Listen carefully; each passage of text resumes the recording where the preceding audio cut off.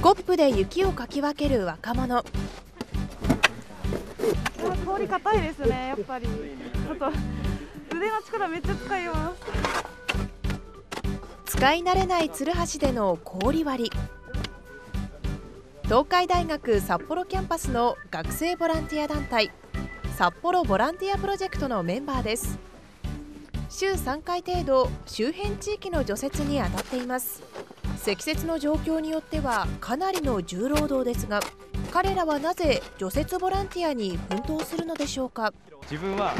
運動したいなっていう理由でここにプロジェクトに入ったんですけどここの地域がですね結構高齢化が進んでいてでここの道は特にこの高校からも高校の生徒がよく使う道でありますのでやっぱりその皆さん助けになりたいというか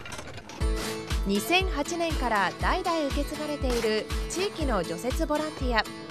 しかしここ数年は新型コロナの影響で直接高齢者の住宅を訪問できないため通学路や消火栓の周りなど行動を中心に除雪をしています。学生はですね活動そのものがすごい楽しくやってくれてまして、えー、自分のためじゃなくて地域のためにやってるんですけどもそんな中でやっぱり感謝の言葉をいただくとものすごいモチベーションアップにつながっていると思います。新型コロナの状況次第で高齢者の住宅の除雪を再開する方針ですが去年の記録的な大雪を受けこうした地域の除雪ボランティアは豪雪地帯の町でも広がりを見せています。これから除雪作業させていただきますので本日はよろしくお願いいたします。よろしくお願いします。複数の刑務官が立ち会う中スコップやスノーダンプを使って手際よく除雪をしていくのは月形刑務所の30代から50代の男性受刑者5人です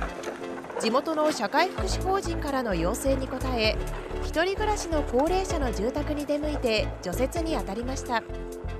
えー、もう助かっております。もうね、雪、こんな吹雪とか雪が大変なのにね。実は受刑者が一般住宅の除雪を担うのは道内では初めての試みです、えー、建物もそうですけど傷つけないようにですとかあとは限られた時間で、